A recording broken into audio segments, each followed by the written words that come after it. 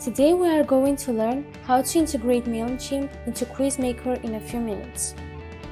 At first, create a MailChimp account. Next, you need an API key. Click on your account editor and select account in order to generate one. Head to the Extras tab, then go to the API keys. Scroll down a little bit and hit the Create a Key button. As you see, I have already created one. Now you need to integrate your API key into the QuizMaker plugin. For this, come to your quiz and open the Integrations tab. By clicking on this button in MailChimp settings, the system will redirect you to the General Settings page. Here, fill in your username and the API key, then hit Save Changes.